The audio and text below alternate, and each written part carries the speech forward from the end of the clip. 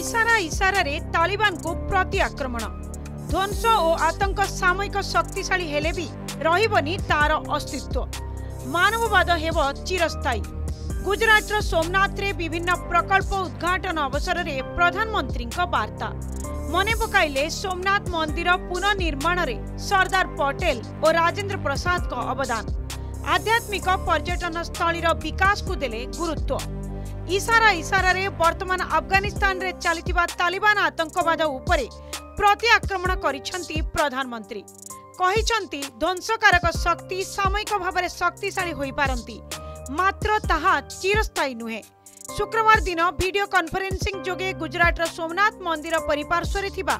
ବିଭିନ୍ନ ପ୍ରକଳ୍ପର ଉଦ୍ଘାଟନ ଓ ଶିଳାନ୍ୟାସ ଉତ୍ସବ ଅବସରରେ ଏହି ଗୁରୁତ୍ୱପୂର୍ଣ୍ଣ ବାର୍ତ୍ତା ଦେଇଛନ୍ତି ପ୍ରଧାନମନ୍ତ୍ରୀ ନରେନ୍ଦ୍ର ମୋଦି जो तोड़ने वाली शक्तियां हैं जो आतंक के बलबूते साम्राज्य खड़ा करने वाली सोच है वो किसी कालखंड में कुछ समय के लिए भले हावी हो जाए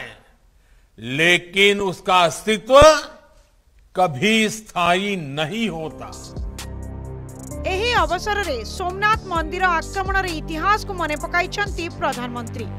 गुजरात र पश्चिम उपकूल निर्मित एवं द्वादश ज्योतिर्लिंग ज्योतिर्लिङ प्रथम ज्योतिर्लिङ भावना पूजित मंदिर मन्दिर अतीतले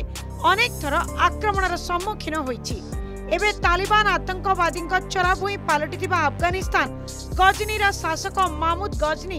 मोट सतर थर सोमनाथ मंदिर आक्रमण एवं मूर्ति सहित अनेक मूल्यवान धन सम्पत्ति लुण्ठन गरिन्छ यहाँ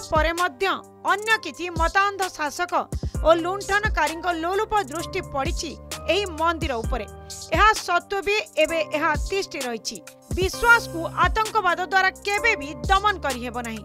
ଯେଉଁମାନେ ଧ୍ୱଂସ କରନ୍ତି ଏବଂ ଯେଉଁମାନେ ସେ ପ୍ରକାର ଆଦର୍ଶରେ ବିଶ୍ୱାସ ରଖନ୍ତି ସେମାନେ ସାମୟିକ ଭାବରେ ପ୍ରାଧାନ୍ୟ ବିସ୍ତାର କରିପାରନ୍ତି ମାତ୍ର ମାରମ୍ପାଦ ଚିରସ୍ଥାୟୀ ଯାହାକୁ ଦମନ କରାଯାଇ ପାରିବନି ସ୍ୱାଧୀନତା ପରେ ସର୍ଦ୍ଦାର ବଲ୍ଲଭ ଭାଇ ପଟେଲ डॉक्टर राजेंद्र प्रसाद एवं के एम मुंशी परी महामानव अवदान जो मंदिर पुनः प्रतिष्ठा संभव हो पारी जहाद्वारा पुणी भारतीय आस्था और विश्वास विजय होती प्रधानमंत्री डॉक्टर राजेंद्र प्रसाद जी सरदार वल्लभ भाई पटेल और कमा मुंशी जैसे महानुभाव ने इस अभियान के लिए आजादी के बाद भी कठिनाइयों का सामना किया लेकिन आखिरकार 1950 में सोमनाथ मंदिर आधुनिक भारत के दिव्य स्तंभ के रूप में स्थापित हो गया यही अवसर में प्रधानमंत्री देश आध्यात्मिक पर्यटन विकास गुरुत्व द्वारा देश पीढ़ी निजर अतीत संपर्क जानवा सहित रोजगार सुजोग प्रधानमंत्री ब्यूरो रिपोर्ट ऑर्गस न्यूज